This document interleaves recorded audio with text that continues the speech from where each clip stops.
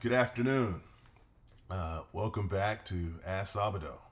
I was hoping, or I thought I would wait until next week to put up my next video, but as I started thinking about this video and thinking about the advice that uh, we get as people, I started to really think about where are all the places that I got advice because it, you know, one of the questions you have to ask yourself is why is anybody going to listen to me? I'm some random guy on the internet uh, named Sabado Gigante.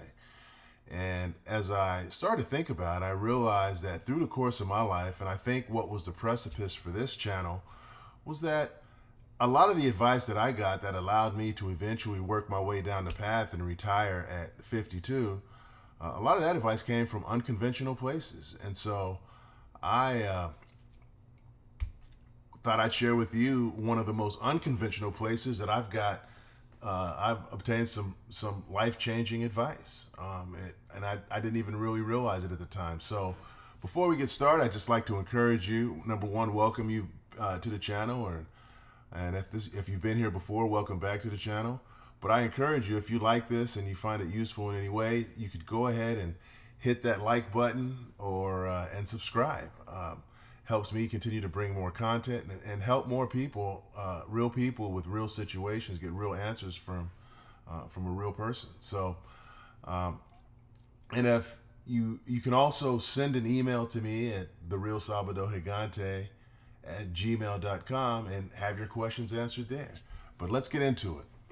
So about 30 years ago, uh, I was in college and I used to ride the bus. And for those of you that ride public transportation, you know that sometimes you have conversations on the bus that you don't want to have. And so because I was on the bus every day, riding every day, uh, I used to wear headphones, real big headphones. I had an afro and over my afro were the headphones. And that was my way of keeping people from talking to me on the bus because a lot of those conversations were really a bridge to nowhere. And one day I was sitting at a bus stop with my headphones on, listening to some Tribe Called Quest, and I saw an individual walking across the street. And I have to set the scene up for you because I it's still it's it's unbelievable, but it happened. So I'm sitting at the bus stop, I look up and I see an individual walking across the street and he had a, a little bit of a twitch and he was really doing more shuffling than walking. And he walked right in the middle of the street all the cars were skidding and stopping so they don't hit them. And this individual walked right up to me and looked me in the eye, eyes and said, Hey, um, he looked at my t shirt and said, Hey, isn't Howard University a black university in Washington, D.C.? And at the time, it I had no, he did not appear to me to be somebody that would know about Howard University. I thought in my mind, I didn't know I, I, wasn't as worldly as I am now. I didn't have the level of understanding, and uh, I didn't understand how he might under, know that Howard University was a black college back in Washington D.C. I had my headphones on. I'm six foot eight, and I'm sitting at the bus stop. So none of that made sense to me. So I took my headphones off, looked at him, and said, uh, "Yeah, this uh, Howard University is a black university in, in Washington D.C." And he says, "Do you go to Howard University?" And I said, no, I go to one of the local schools here. And he, it was interesting because at that moment, he said, I went to school there. And so then my pe- interest peaked because my questions then became, how did you get from there to here? And so he laid it out for me. And he said, I was a double major in finance and accounting. I was taking 19 units a semester. I was working full time and I was just going, going, going all the time and it led me to having a nervous breakdown, and that led me to a course of uh, events. And then now I live in this halfway house around the corner, and I'm a paranoid schizophrenic. And I'm I don't I'm, I don't claim or purport to be a psychologist or have any understanding of that kind of stuff, but it was interesting because the fact that he he told me all that kind of piqued my interest and so, you know, we talked, we sat on the bus for a while. And at the end of that conversation, he told me something really interesting. He says, Don't ever take yourself too serious because if you do, you may end up like me. And that stuck with me because at that same time, I didn't have a double major, but I was taking my 17 16, 17 units. Uh, I was working at the time. I was riding the bus to school. I had a lot of different things going on, and you know, I was partying every night and doing homework every day, and just you know, just trying to make it. And you get going, going, going. Well, anyhow, I get off of the bus, and he goes on his way, and I thought I'd never see this individual again. One day, I was uh, a few months later. I was standing with a couple of my buddies, and again, I'm six foot eight. My buddies are all six five, six four, six two, and so on. None of them are six foot eight, except for me. And we're standing in front of the student union because all the cool people stood in front of the student union because that's where the cool people hung out. So we were sitting there being cool, standing up. And I remember this day specifically because it was after a bunch of rains and there was this big puddle that was off to the left. Um, and I could see it out of the corner of my eye. And in the puddle, there were these birds. I don't know if they were pigeons. I don't know what they were. Uh, but I could see these birds off to the left. Didn't think much about it. I'm standing there being cool with all the rest of the cool people in the area. And all of a sudden, out of the corner of my eye, I see these birds flutter out of the water. And then I look over, and who do I see? I see this same person that approached me at the bus stop with that same twitch and that same shuffle, shuffling through the water. He walked up to me, eyeball to eyeball, in front of my friends, all of my friends, 6'5, 6'2, 6'1, none of them 6'8, stood right in front of me, looked me eyeball to eyeball, and says, You doing all right?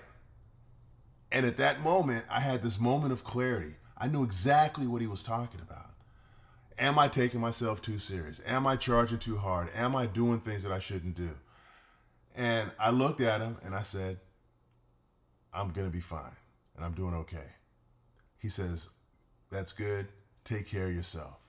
And then he, he turned, he turned around and then just proceeded to go on. I never saw that individual again. Well, it's interesting because through the course of my life, in order to get to the place that I eventually uh, got to, there were a lot of things that I had to do. I had to finish school, I had to get a career, I had to move and shake. And I think in one of my earlier videos, I talked a little bit about how I would travel 40 weeks a year and give advice to people where I was traveling for consultation and I was doing a bunch of stuff um, and I was just charging hard and because I wanted to climb the corporate ladder. My ambitions were the most important thing in my world. But that came at a cost. Uh, you know, friend relationships, home relationships, personal relationships all suffered because I wasn't able to take the time to make sure that I, I, I fostered those relationships in the way they needed to be fostered. And, you know, sure, I, I experienced a, a level of success because I was flexible and I was what they would call Johnny on the spot whenever something needed to happen. But my ambition caused me to drive and drive and drive. And then I reached a point in my life where, as, as Jimi Hendrix says, castles made of sand fall in the sea, things started falling down around me. And I, I, I, I sat back to myself and I thought to myself, self, somebody's told you, somebody predicted this in your life way before you thought it was going to be possible. And it turned out it was the same in that one individual that I saw at the bus stop on my way to school uh, was the person that predicted that this could happen. Guess what? It happened, and I had to go back and think about the advice that he gave me.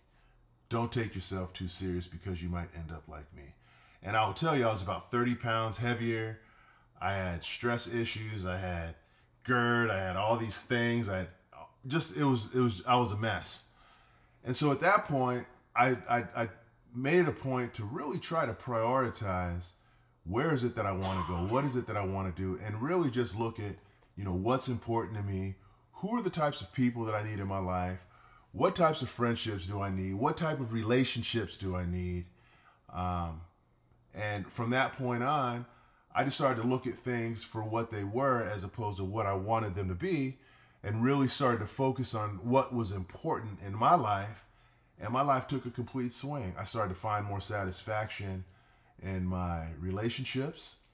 Uh, I started to find more satisfaction in my friendships. I started to find more satisfaction at work. Uh, in another episode, we'll talk a little bit about work because I think work is work, and there's work and there's working. But we'll we'll talk a little bit about that another time. Uh, but I started to find that balance, and I was able to be mindful because I had the capacity to think in a more balanced way. And as I started to become more balanced, then when I'd find those critical places in my life where I needed to find answers, those answers were there. I was able to reason through those answers, figure out what is it that I need to do. Didn't always have the answers, but always was able to find a way to get from A to Z.